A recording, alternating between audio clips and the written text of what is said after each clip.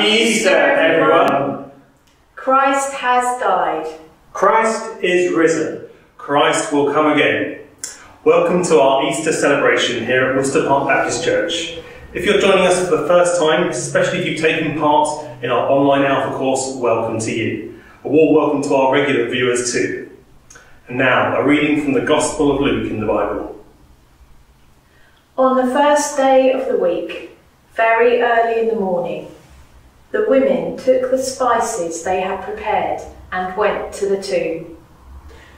They found the stone rolled away from the tomb. But when they entered, they did not find the body of the Lord Jesus.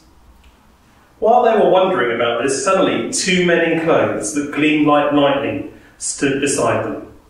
In their fright, the women bowed down with their faces to the ground. But the men said to them, Why do you look for the living among the dead? He is not here, he has risen.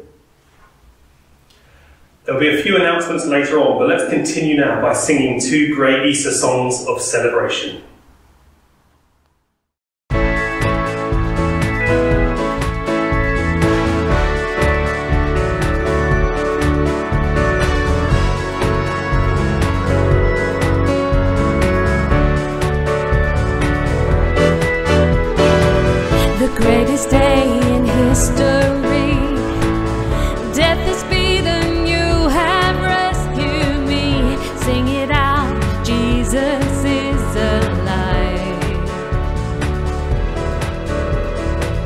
The empty cross, the empty grave.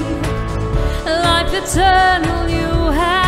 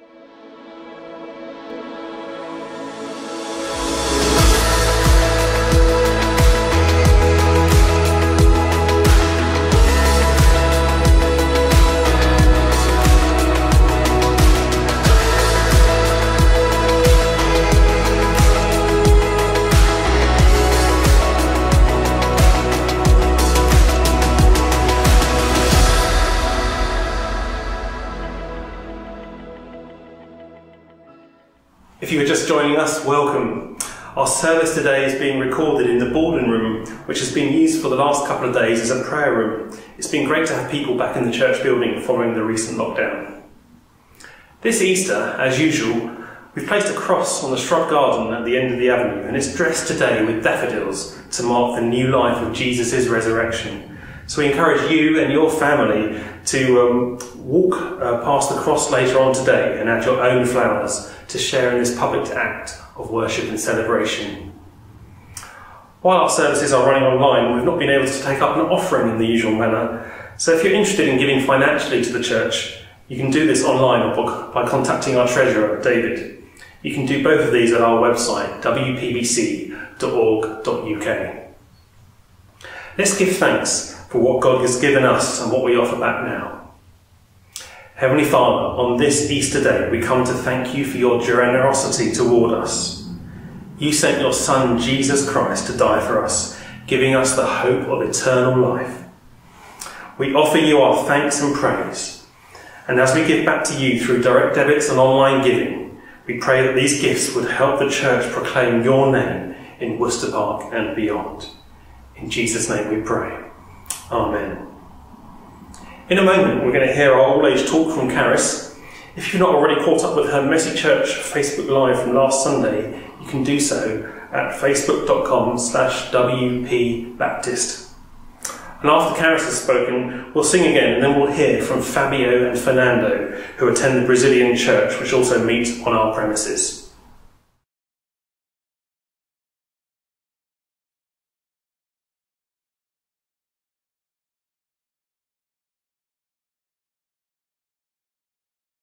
Good morning, everyone, and happy Easter. Now, if you were able to join with us last weekend for our Messy Church Facebook Live, then you will know that I shared with you the secret of my golden egg. This special golden egg contains the secret of Easter. Now, if you were here then, don't tell anyone else the secret. Let's keep it to ourselves just for a little bit longer and see what um, we're going to find out this morning because Easter is all about eggs, isn't it? I know there's a special story about Jesus as well, but we really love the eggs, don't we? And especially the chocolate variety. And I've been thinking this morning a bit more about eggs and why they have become so closely associated with Easter. And what I discovered was that traditionally during the season of Lent, when people do a thing called fasting, where they cut out certain foods from their diet, mostly foods that are generally considered to be luxury, like sugar and butter and eggs, foods that your body don't actually need. And that's the reason why Pancake Day falls at the start of Lent, because everybody had to use up all the eggs and sugar and butter that they had in their home, so they wouldn't be tempted to eat them throughout Lent. But when Lent and fasting was finished and when everybody got to Easter Day, it was okay to eat eggs again. So as a treat, children were given a hard-boiled egg to eat. Maybe one that had been decorated with colours and patterns and pictures, a bit like the ones we saw last Sunday that Pastor Abraham and Maria were giving away to their Korean church congregation.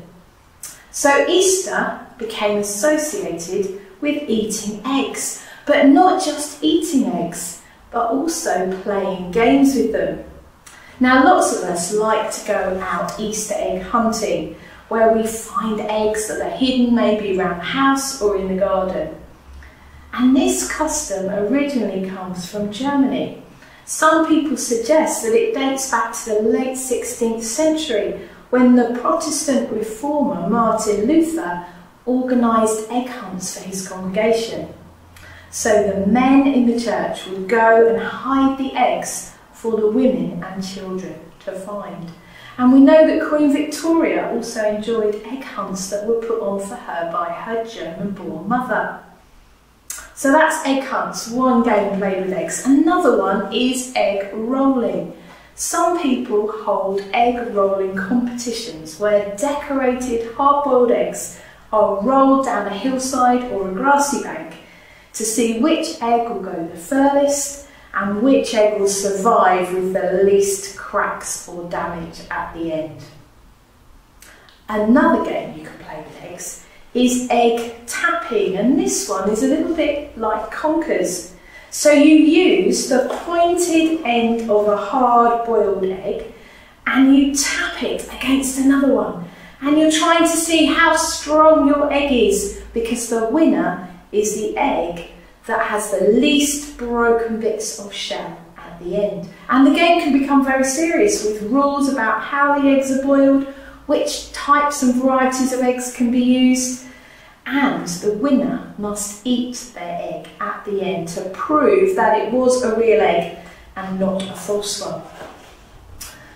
But what have all these games with eggs got to do with Easter and the secret of Easter in our golden egg? Well, I was thinking when we hunt for eggs, maybe we're reminded of the women who went to the tomb looking for Jesus after he had died and been buried. They'd come to anoint his body with spices, but when they got there, the great big stone in front of the tomb had been rolled away, just like the eggs are rolled down the hill. And all the women saw was the grave clothes and the angels telling them, He is not here. The reason for that was that Jesus had come back to life again. He had risen. And maybe that game of egg tapping reminds us of little chicks inside their eggs when they're ready to emerge into the world full of new life. So, eggs are a wonderful reminder of the Easter story. And this egg contains the secret of Easter. So if you know already, shout it out with me. The secret of Easter is that the egg is empty. The tomb is empty. Jesus isn't there. He is alive. So this Easter, why don't you do some hunting for yourself? Why don't you have a look for Jesus?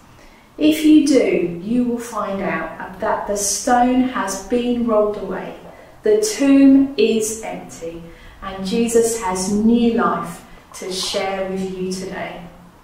Happy Easter.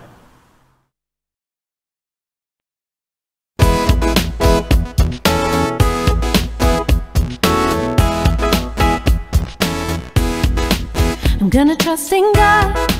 I'm gonna trust in Jesus without shame and without fear. I'm gonna fix my eyes on the hope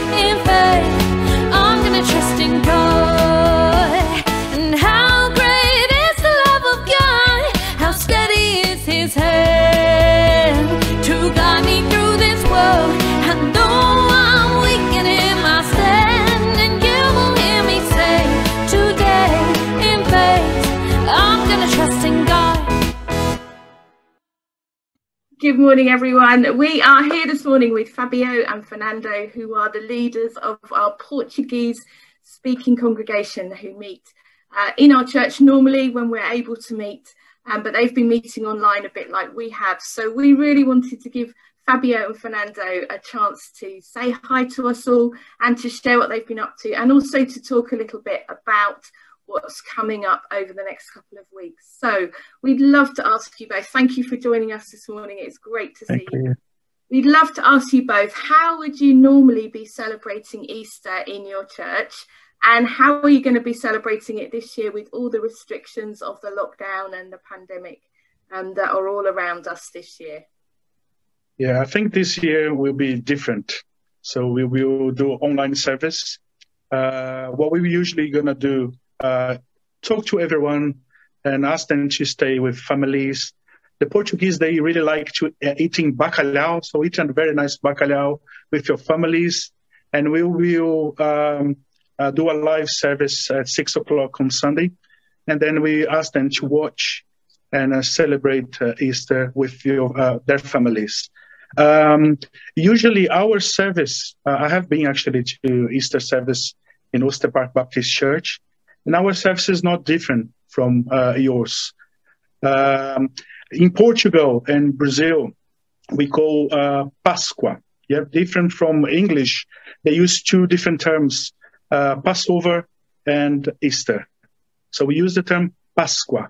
And uh, in Brazil, when we talk about Easter, we call a Sunday of Resurrection, which is a very important word when we talk about Easter.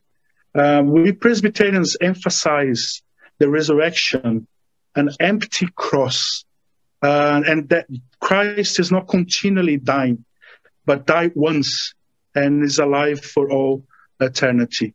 Christ's resurrection um, from the dead was the most important, the most glorious event in history. And it must be remembered. That's why we celebrate. Usually we have a very, very simple service where we always try to make things simple and we do everything for Jesus, for his glory. Uh, what we usually do different on an Easter uh, service is the content of what's preached. Usually the sermon is normally about the Old Testament Easter, which points to Jesus' resurrection. Uh, we try to do the same with the kids. Uh, Daniela usually do some drawings about uh, Moses, how God uh, was passing over Egypt and freed his people. And then we come to Jesus' death and his glorious resurrection, which gives us um, salvation. Um, we, we, I always like to say that. We always like to do things in a very faithful way to scriptures. I think this is very important for us, being faithful to scriptures. Um, another thing on the Easter service uh, that we do is the communion. Uh, um, one thing I always like to explain as well Easter is not only in April. We celebrate Easter every time when we eat the bread and drink the communion. We usually do the same as Baptist Church once a month. Um, but um, uh, we also do on Easter services. Uh, First Corinthians 11, uh, 26 says, For whenever you eat this bread and drink the cup, you proclaim the Lord's death until he comes. And that's the reason why we celebrate, because he's alive and he will come back. Why, for me, why Easter real? Easter is the belief of the resurrection, of course, of Jesus Christ he, the, the life, the death, and the resurrection through him. God's great gift to humanity was through him. And this is why Easter is important for, for our life, because Jesus, it proved that Jesus was what he claimed to be. He was in the flesh and came to the earth to save us. Hallelujah. This is why our Jesus, this is why we really stand very well, uh, firm to the world without fear. Doesn't matter what they say. You cannot say anything about Jesus. No, no. Always I proclaim uh, his name. Always I share the, the, Bible. And the good thing we have got in our group, we have got the uh, church meeting, um, uh, uh house meetings, and we do our studies the, the Bible.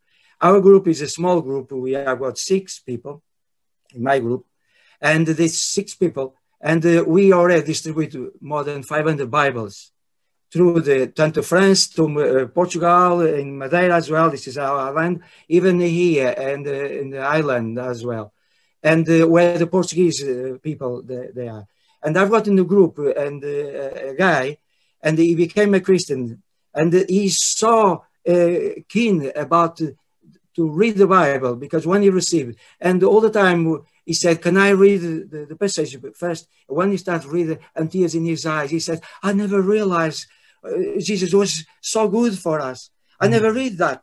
But he thought he was a Christian all his life as a Catholic uh, born. Okay. But this is our mission. This is why we are here in the world. That's a matter about the virus, that about, about anything. This is when we preach God is, is, is with us, Emmanuel. And this is everything. Uh, my son is working in the police force, and he said that I'm uh, uh, scared about uh, I could bring something to the house, and can you can catch something. I said, David, don't worry about me because I'm safe. What means safe? Anyone can catch. No, no, I'm talking about my life. My life, real life, is with Jesus. I'm prepared because he said, I'm the way, I'm the truth, I'm the life. He never said, I've, oh, the, I said, he never said, I'm a way. I said, I'm the way, the truth, and the life. And everything life is with him. When you recognize that and you really ask God to get in your life, you understand what I'm saying.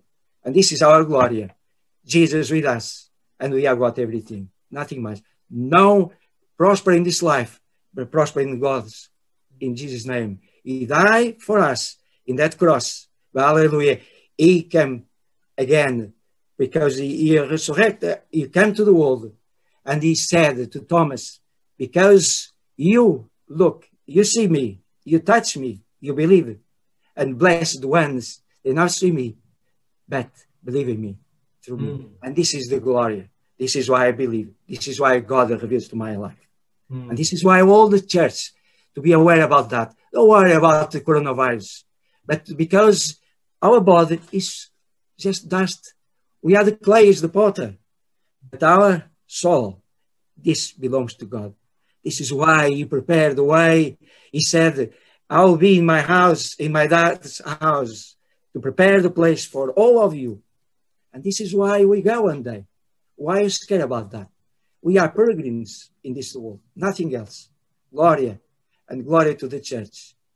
Keep firm, old church, because God is, is with us. Hmm. Amen. Amen. I Amen. Wonderful. Thank you. Thank you so much. Yeah. And going back to your question, we are nothing. We are nothing without Jesus.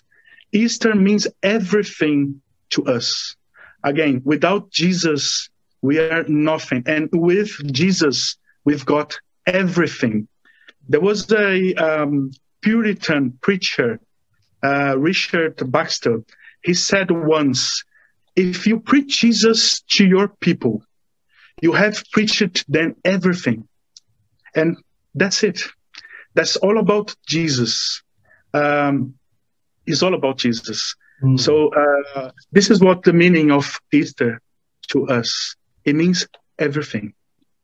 Hmm. Oh, Fabio, Fernando, thank you so much for sharing with us today. Just learning a bit about your church practice and learning as well, should I say, even more importantly for us, about your own heartfelt faith and what God means to you and what Christ has done for you. What a, a privilege it's been to speak to you both today. So I know that from Caris and myself, thank you for joining us in the interview today. And we wish God's blessing on, on your fellowship and on you and your families. And uh, looking forward to meeting up once we get past uh, this lockdown and out of this, and we can enjoy seeing one another face to face. Uh, It's going to be a good time when we celebrate Christ together. So thank you very much for joining with Thank us you. today. Thank Thank you, Caris. Thank you, Gavin. God bless. Thank you. Let's come to God in prayer. Heavenly Father, we thank you that you sent your one and only Son so that all who believe in him may have eternal life. Thank you that he became incarnate so that he could be among us. Thank you that he showed us your character and how much you love us. Jesus, we thank you for showing us the way. We thank you for saving us. We thank you for loving us, no matter what we have done or who we are. We thank you that you bring healing, forgiveness, and life in all its fullness. We ask for your forgiveness when we have not listened to you, when we have not acknowledged you or have forgotten you. We ask that you will take centre stage in our lives again, that we would become more like you as we follow you. Lord, we thank you that you conquered death, that love wins, that you bring hope. that you bring everlasting life.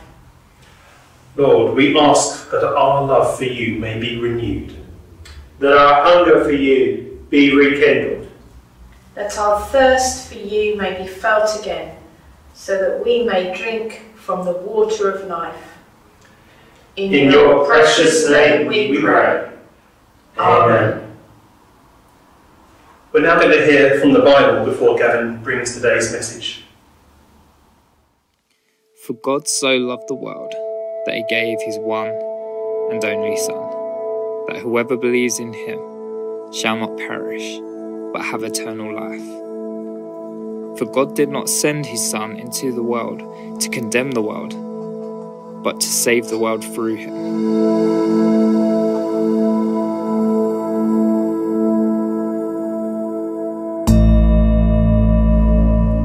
Beginning was the Word, and the Word was with God, and the Word was God.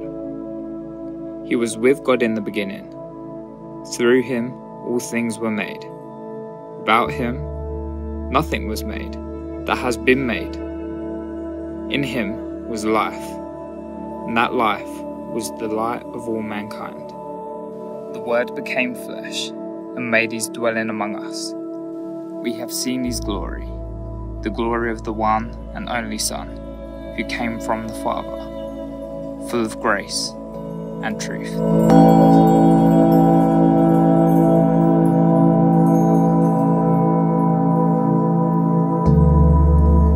At that time, Jesus came from Nazareth in Galilee and was baptized by John in the Jordan. Just as Jesus was coming up out of the water, he saw heaven being torn open, and the Spirit descending on him like a dove. And a voice came from heaven You are my Son, whom I love. With you I am well pleased.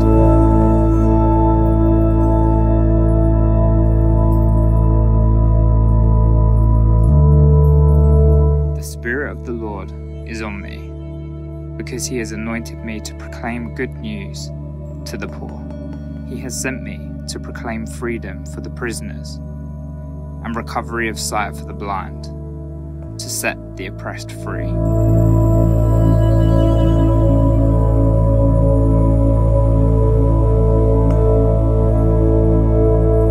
Come to me, all you who are weary and burdened, and I will give you rest.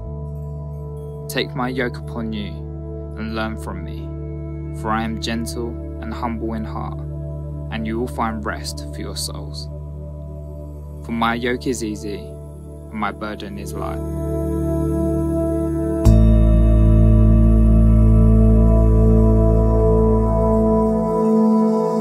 I am the light of the world. Whoever follows me will never walk in darkness, but will have the light of life.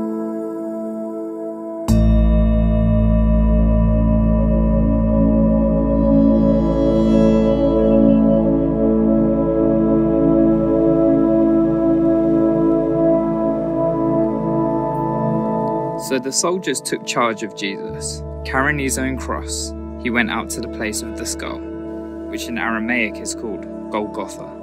There, they crucified him, and with him two others, one on each side, and Jesus in the middle. Later, knowing that everything had now been finished, and so that scripture would be fulfilled, Jesus said, I am thirsty. A jar of wine vinegar was there, so they soaked a sponge in it put the sponge on a stalk of the hyssop plant and lifted it to Jesus' lips.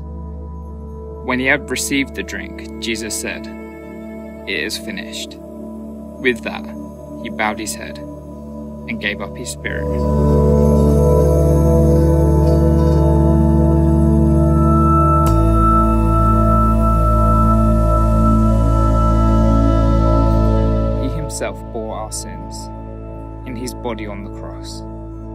So that we might die to sins and live for righteousness. By his wounds you have been healed.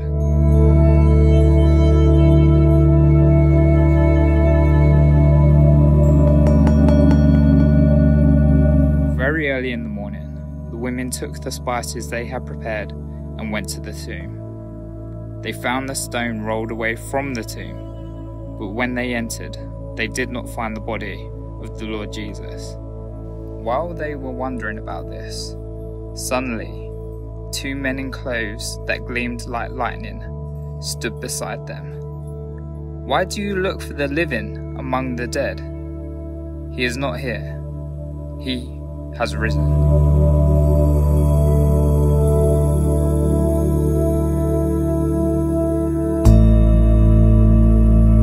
When he had led them out of the vicinity of Bethany, Jesus lifted up his hands and blessed them.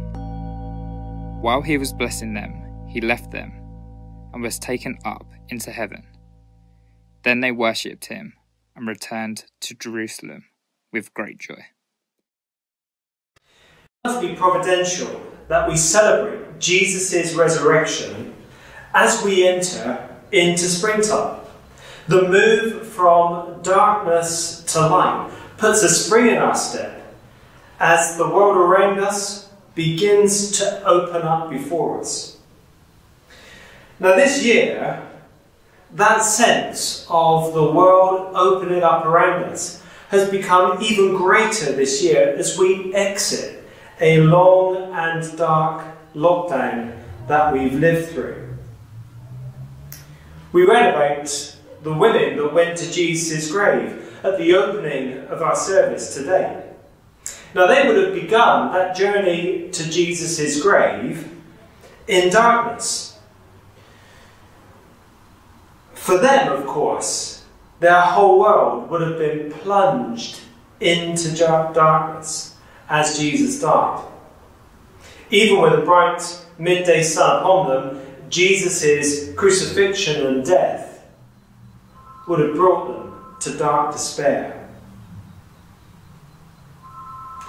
No doubt that sometimes we, like they, feel despair, possibly even in the glorious spring sun. But Easter reminds us that dark despair is never the final word, but there is hope now. There is hope for those women that approached the tomb of Jesus. And there is hope for us today, whatever situation, whatever circumstance that we are in. Uh, despair can feel as though it is ready to grow around us and swallow us up.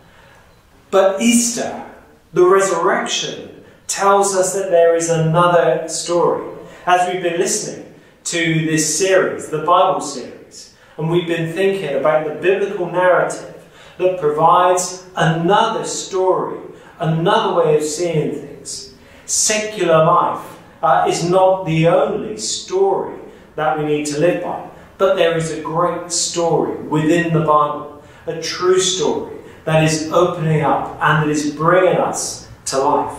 And so we're here uh, with the Messiah and love that we began last week, and now we're looking at again in light of the resurrection. When the women arrive at the tomb, they are suddenly met by two men in gleaming clothes. They are described as an angel of the Lord in Matthew's Gospel. The angelic presence assures us, therefore, that the news they have to bring is big. The body of Jesus is no longer there. So the women are wondering, where has the body gone?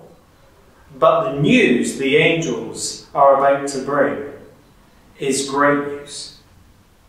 Over 30 years prior to the event that we're witnessing here today, the angels heralded the birth of a special baby, and now they proclaim this incredible occurrence. They say, Why do you look for the living among the dead? He is not here. He has risen. All that had happened, the life, the death of the beloved, had been moving toward this point where the Son of God broke that dark, icy grip of death. Jesus had risen from death. Upon the cross, Jesus had died for sin and secured forgiveness. And now, in his resurrection, he demonstrates that sin's curse, death, has been defeated. Now, the resurrection that Jesus experiences here and the angels testify to and the women witness to, the resurrection was not a novel idea to the contemporaries of Jesus. It was there in the scriptures, a little opaque and scarce amongst the Old Testament writings. Nevertheless, it was there. Caris recently used these words from the Old Testament prophet Isaiah in chapter 26 and verse 3. You will keep in perfect peace those whose minds are steadfast because they trust you. Now, if we continue to read on in that chapter, we come across this amazing verse at verse 19, where the prophet declares, But your dead will live, Lord. Their bodies will rise. Let those who dwell in the dust wake up and shout for joy. Your dew is like the dew of the morning. The earth will give birth to her dead. What wonderful words there, uh, nestled within the Old Testament prophet Isaiah. Commenting on that particular chapter, that particular verse uh, of chapter 26, Jewish scholar Benjamin D. Sommer says Rabbinic Judaism emphasizes the belief in the resurrection of all humanity. Indeed, this belief is highlighted in the second paragraph of the Amidah prayer, which is recited three times each day in traditional liturgy. Addressing God, the prayer says, Your loving kindness sustains the living. Your great mercies give life to the dead. Jesus' resurrection from the dead wasn't God given a sideways glance or bowling a googly to humanity. It was there in the teachings of God's people all along and is still held to be true in rabbinic teaching. Even if many don't recognize what we have come to believe, that Jesus was the first to rise, the firstborn among many brothers and sisters. Therefore, we hold on to our hope in the life, death, and resurrection because it makes sense of an unfinished world that we live in.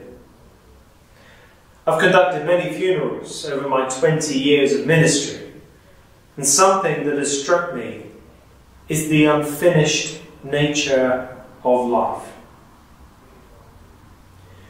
We are not only physical beings made of flesh and blood, but we're spiritual too, created for eternity, intended to transcend this mortality and enter into eternity with our Creator.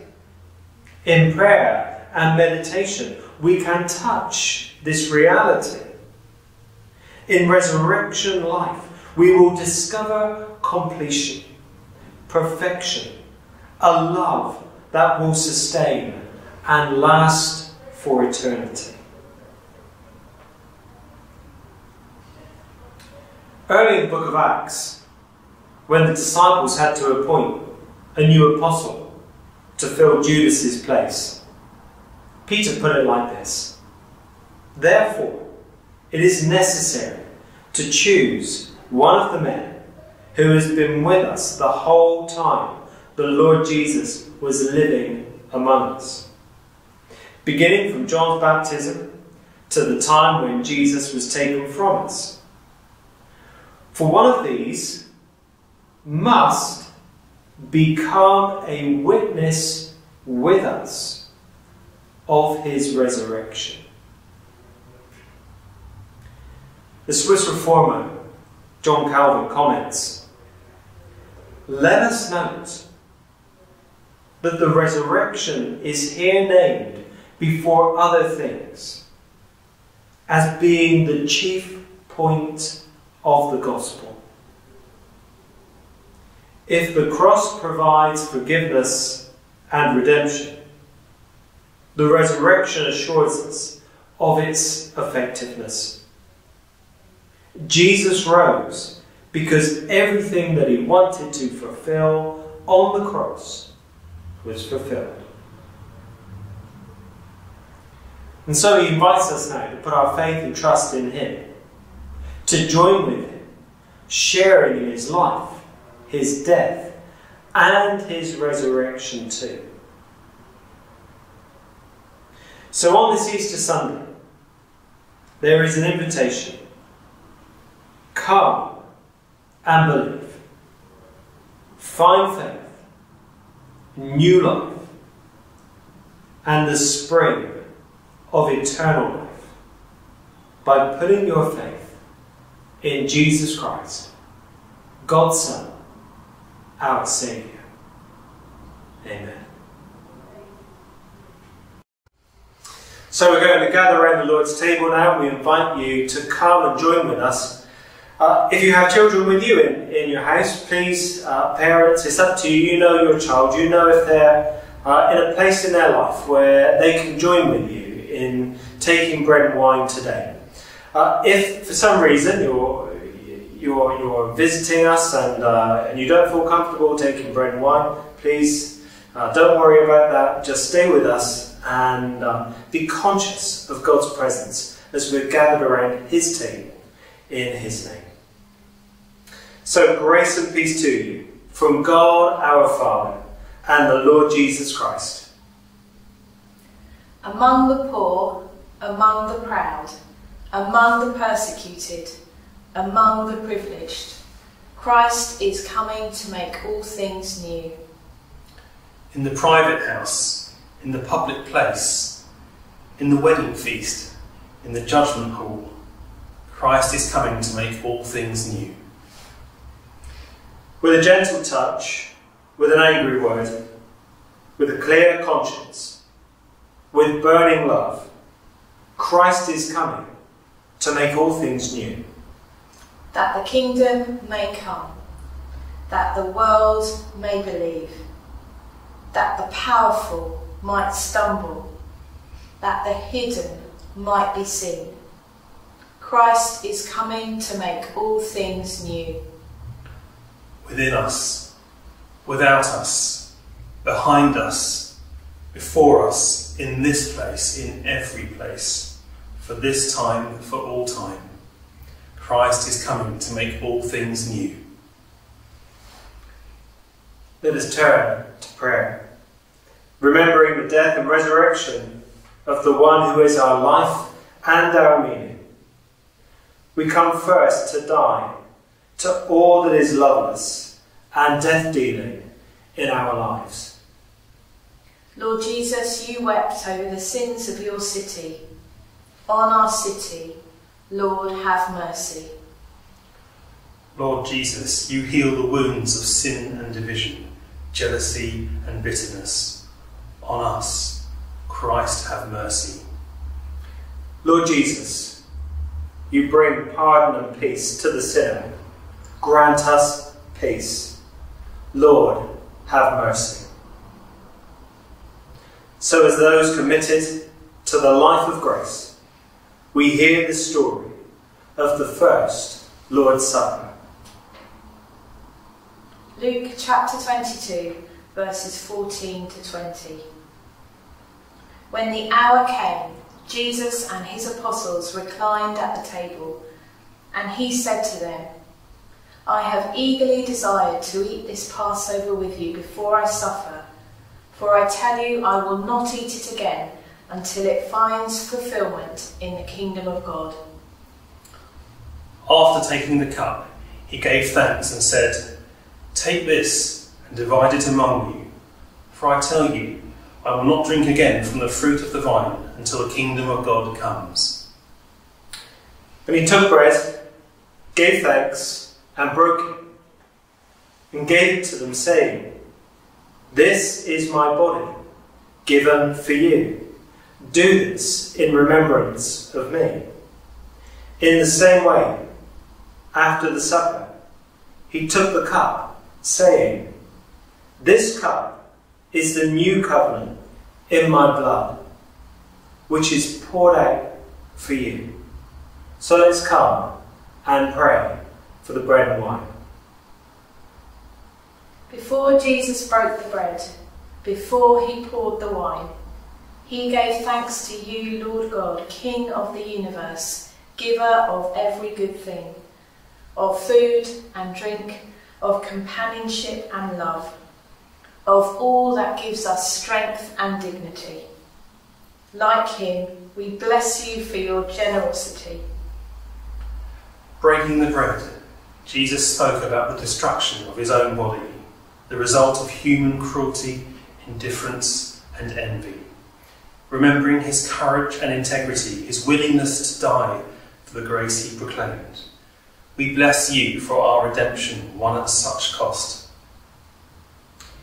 Sharing the bread, Jesus promises to be with us always, and we acknowledge and delight in his presence here now. We bless you for his Spirit binding us together in a new and hope filled humanity. Fill us again, Lord, and empower us to live together in the peace and truth of the gospel. Amen.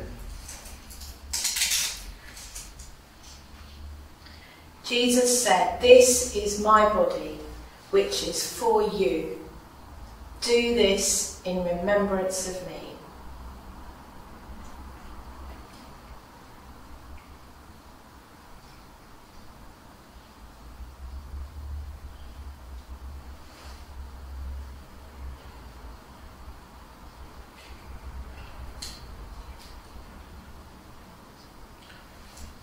Drink this and remember that Christ's blood was shed for you and be thankful.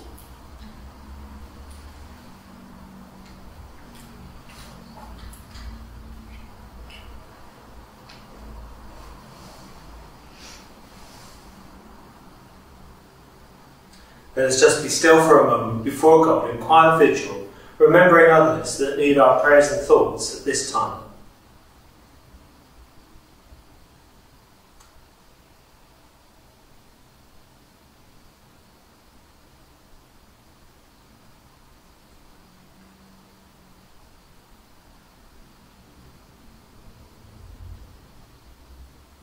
A blessing to us.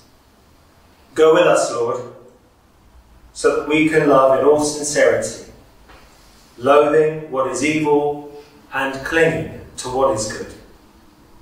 We will be devoted to one another as brothers and sisters, honouring each other above ourselves. We will be joyful in hope, patient in affliction, faithful in prayer. We will share with God's people who are in need and practice hospitality. With your help, we will bless those who persecute us, blessing and not cursing. We will not repay evil for evil. We will not be overcome by evil, but by the power of your Spirit, we will overcome evil with good. Go with us, good Lord, and live in us the life of the kingdom. Grace and peace to you from God the Father and the Lord Jesus Christ. Amen. We're going to continue in our worship now as we sing Oh to See the Dawn.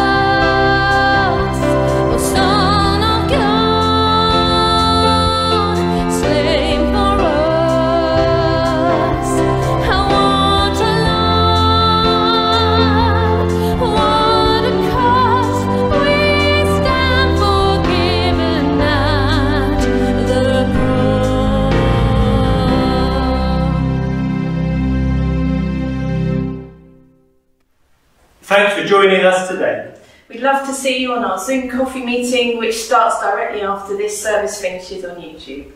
and the details of the Zoom meeting are appearing on screen now. So let's close by blessing one another. May the grace of our Lord Jesus Christ and the love of God and the fellowship of the Holy Spirit be with us now and evermore.